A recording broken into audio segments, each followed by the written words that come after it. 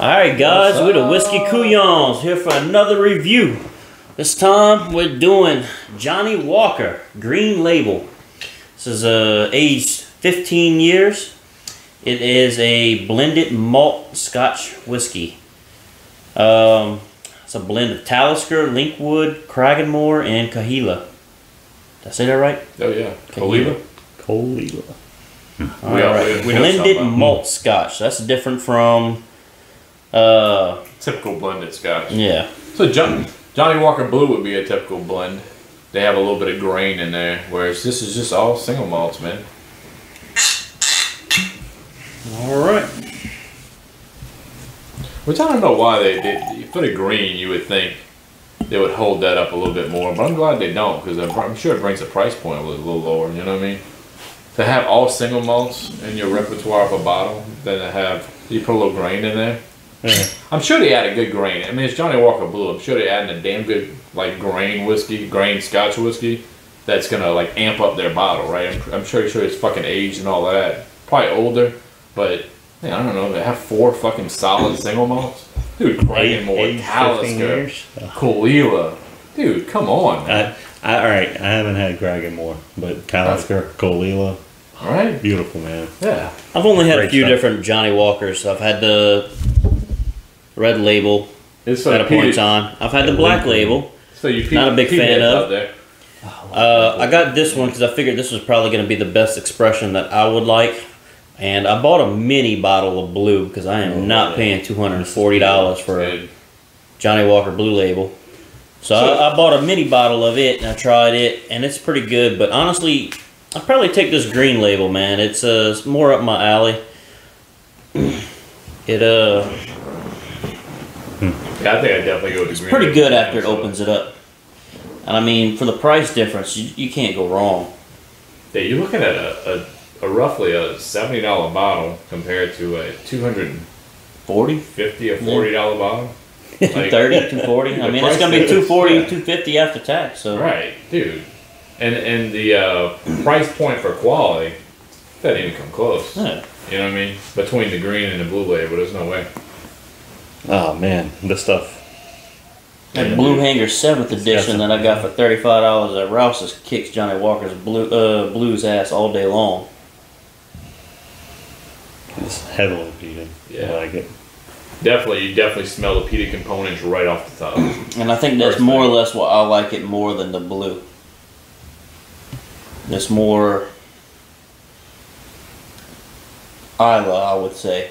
Yeah, yeah. It's got some. Um, you can smell Caol Ila in there. Well, you're the you're the uh, you're the Scott. Well, that Caol Ila man. That You smell that right from the get go. That, that's the only Islay whiskey in the group. But you also smell like Talisker's got that brininess. Get that Yeah. salt. That- I was gonna That's say in there, salt. almost like almost like salt water. Yeah. But believe it or not, Cragganmore uh, has that, that taste too. It has that uh, that flavor of like a, a brininess. It is peated, although it's probably out of all of them, maybe Linkwood or Cragganmore might be the unpeated ones. But Cragganmore has like the very like a small bit of peat. You would only notice if you was tasting it next to an unpeated whiskey, Okay. and then you'd be like, "Oh damn, there's a peat." But if you're tasting that next to like a Caol Ila or a, a, a mm-hmm. Laphroaig, no, you're not tasting the peat. We've all had Talisker. We've Right. all had Caol Ila. We all have had. Well, me and you's had Cragganmore. I don't Yeah. think he has, but I've never had Linkwood. Linkwood's one I've. Linkwood, they No, don't really yeah, say they sell it as a single malt, but it, we just don't get it in this area, and I rarely see it like online to pick up in order. So,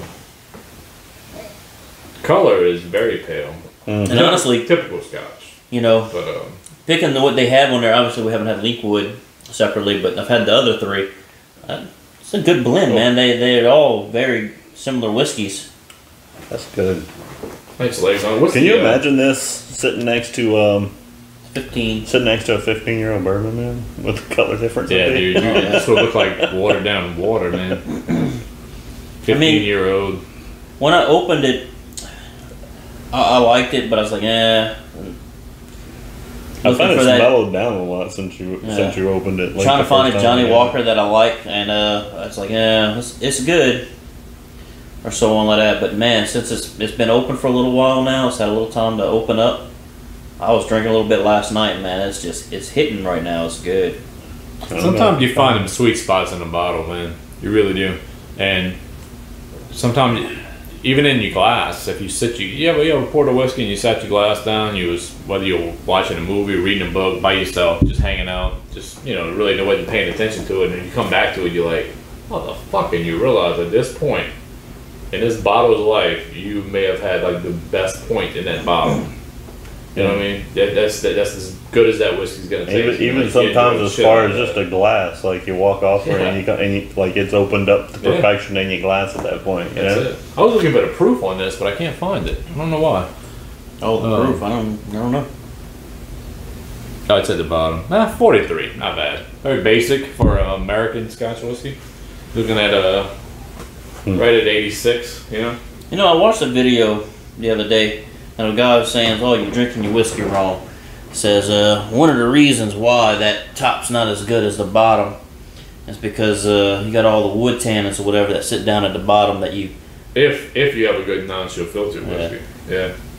not to necessarily shake your bottle, but you know, rotate it around or so on, get it mixed up. That way you get all that hidden debris that's their finger on the top, on the bottom. shaking the shit out of it. So What, you- you- what the hell are you doing?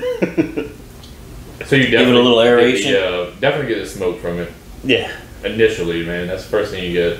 on the nose, absolutely. Even on the on the, You get a on the brininess.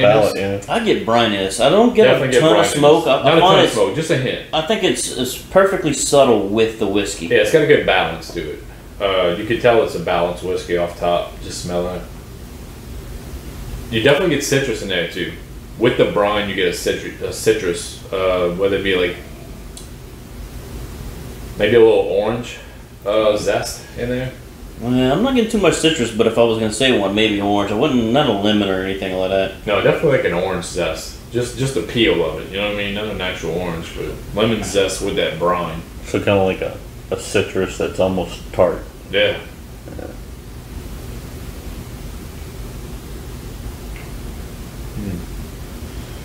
That nose is, uh, uh, that palate rather is uh, you could it hits Caol Ila. Oh yeah. Yeah, big time. And then and then Talisker, uh, you can definitely still taste the brine. I do get a little lemon zest in the taste though. Just throwing this out there too. Again, uh, this is another Bayou side pickup. Yeah, bro, y'all, y'all, y'all buying. They're definitely buying some stuff from Bayou Side, man. You're keeping uh, you're keeping the bills paid. At this at this point, we might need to buy a stocking. Yeah. They're they're Make ve- some of my money back. they're very local for me.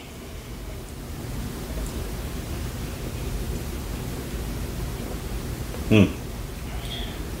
Flavors really are like good, this man. stuff, man. So the lemon comes in there with the smoke.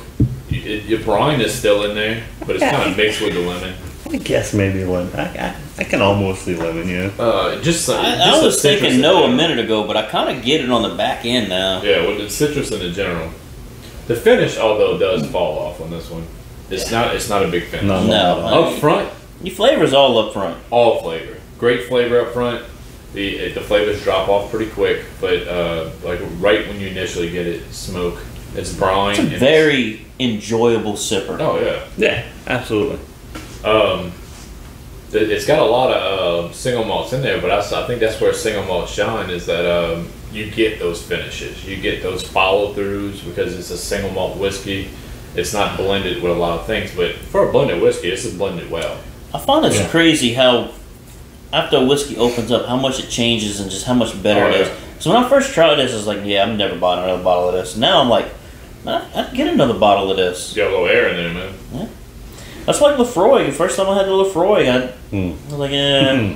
The But thing man, when I got towards the end of that bottle, it was that Laphroaig was so freaking good. the thing with the blended single malts, right? Like for a good price point, yeah, all day. But the, like single malts nowadays are almost in the same range. as You can pick up a damn good single malt for about seventy bucks. This is, I, mean? I, I think I paid around sixty for this Oh, okay. bottle, and I mean, there's a Yeah, lot of that's not bad. scotches you get out there that's on this level or better for sixty.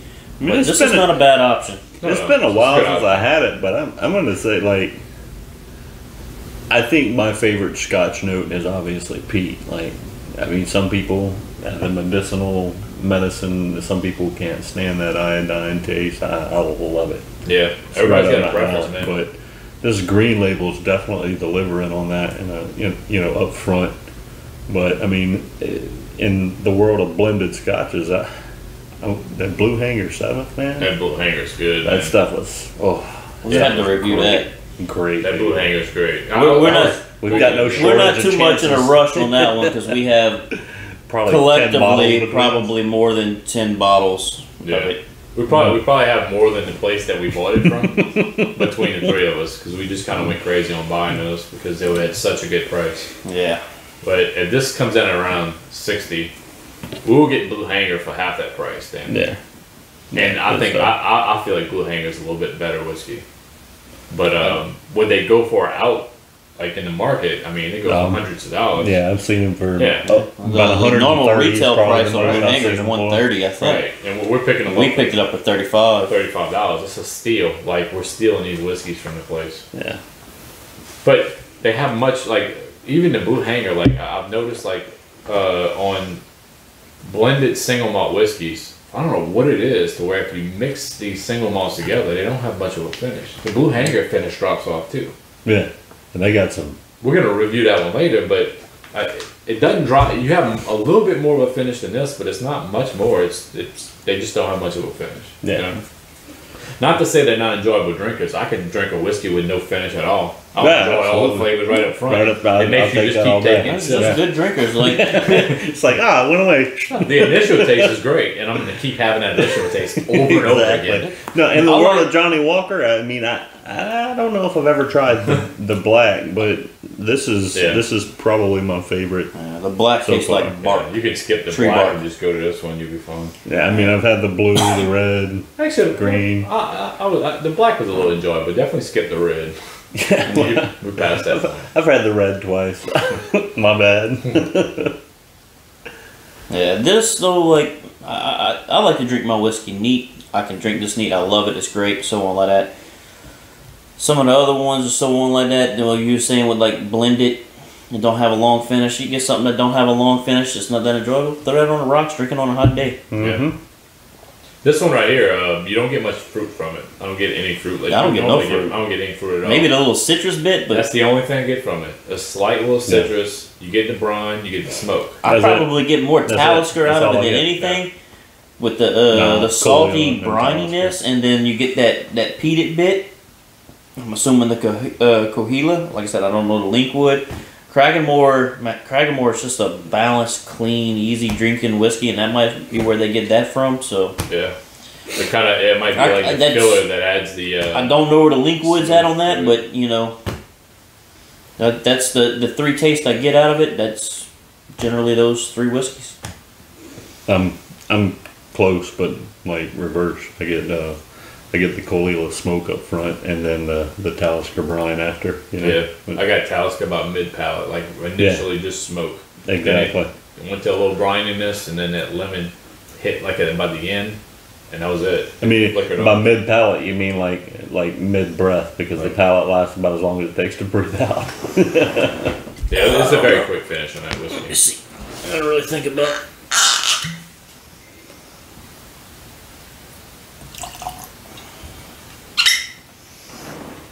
But I mean, One last damn try. good sipper, man, for what it is. Absolutely, you know? Definitely get a little bit of smoke on the nose. I get so much salt on the first bit of the taste. And then I get a little bit of the barley and the smoke and so on like that on the mid palate. Going That down on the Talisker, finish. man. Like when we tried, But the that finish Talisker, does fade fast. Yeah. That's that's all it was was was smoke. Yeah, or not smoke. Um, uh, brine. Brine, yeah. sea salt brine. Right, yeah. You already do some reflecting? Yeah. Let's Let's your reflection. Uh, so for this uh, this uh, green single uh, single malt blend, I would definitely go. Uh, it's an easy three. You know, it's a. It could be a buy again if you're looking for a blended single malt. There's not too many places to look. We got these blue hangers like for a steal. That doesn't come along often, and then you can't really think about that when it comes to the normal prices of stuff. That usually runs about a hundred bucks. This is around sixty. So, will it is it good enough to put up the extra forty? Eh, maybe so. But this one right here at sixty is not a bad whiskey. No. Um, Open it, let it sit a little bit. yeah, That's fucking fantastic. It's good whiskey. I definitely got a three on it though. That that's my go. What you got? I'm feeling. Uh, I was feeling three too. Um, like spot on three. Um, I feel like it's it's great. It, it lacks a little bit in in finish, which is, I mean, to me that's pretty much the only spot it's it's really missing. Me on, too, you man. If it had it, if it, if Um, it followed through, Oh god, Oh, yeah. dude. If if I was maybe three If I was- three fifty. if I was sitting here right now and I was breathing smoke like a dragon, Yeah. yeah, I would. That would definitely be a three five for you, me. you You, get know. some bumping up on that one. But uh, um, it, it just it's real short on the finish, and that's probably where it, it probably why I give it a three. But uh, everywhere else, I find it, it delivers pretty well. yeah. What you got, Ron? What you get? I'm uh I'm gonna go three and a half. And the reason why I'm gonna say three and a half is because uh, it is a blended Scotch, and looking at the price point for about sixty bucks or so on what can I get that's better at that price point. And there's a couple that come to mind, but there's I don't know, not more than five I can think of. I'm really I got two in my mind, and uh, I don't necessarily want to say them off the top of my head or whatever, but those two, you know, definitely. I, I know one of them's kind of going up in price lately. I think that's just more the market at the time or the whole Corona market, but it uh for the price point and where you're at and trying to find a good Scotch, I'm, I'm giving a three and a half. See in our area too with pricing, dude. Like this stuff is. Hit and miss, dude. But yeah, it's hit or miss everywhere. But Yeah. like like where, where we live at, Well, there's the not a two, lot of Scotch drinkers, dude. the two I'm thinking of, Bourbon like, is fucking king in fucking Louisiana, baby. Big I, I can get I can Big get time. Ardbeg In- in, most places, it, it's it's like a, it's a trend, dude. People love that fucking American oak, new oak, brand new fucking new oak, caramel influenced, high potent fucking bourbon. It's good. It's America. It tastes like America. Well, I I'm like thinking too, yeah. What? Wrap yourself in an I can get flag Ardbeg and have a glass. for fifty five dollars. Yeah. Uh, there's that Lagavulin nine that we've been able to get for about thirty five. That's kind of an odd rarity That- too. Yeah, that's a that, That- usually goes for higher too. Yeah, that would normally go for. I don't know why these people are selling at this price, but Yeah, we stole their bottles too. yeah. uh, and then the one I was talking about I, would I be up twenty five dollars for La- Laphroaig a, 10. A Lagavulin nine. Yeah, dude. I just thought I was just like this. Laphroaig ten Like is a kid, uh, dude, just taking them. normally in a price tag what about 55 60 bucks but lately that one's kind of been going up Dude, there I, I can go to town on bottles that I, I could buy for sixty. Yeah. though. so So- that's three of them Scott, right there That's your, that's your three of them that I would take over this bottle. But after that, man, uh, I'm, I don't know. Bunnahabhain twelve. That what Oban Oban fourteen opens about or Oban Little Bay? That's Now, dude, like that, those prices. Some of the prices I got is I can't really speak on because it's online. yeah. We're not getting that here. Uh, that Oban locally goes for about six to nine. We're in the same $10. realm though. Right.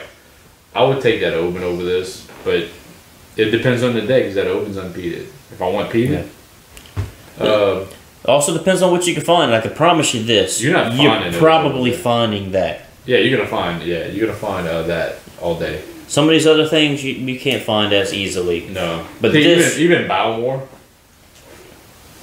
you're not getting 15 for that price here. The 12 maybe, but that 12 lacks. Like between you know some places with an age difference, that 12 and that 15 Bowmore, dude, huge difference. Really? I would say just don't worry about the Bowmore 12. Go straight for that 15 Sherry cask. That's just me. Okay. But yeah, between the 12 and this, that'd be close, and they're roughly around the same price, 60 bucks. So. Yeah. Yeah, man. It's it's definitely a good bob. Well, that was All the uh, the Couyon reflection, and uh, that was our review on Johnnie Walker Green Label. That's it. See Y'all have a nice next- day. See y'all next time. We all out. Eventually.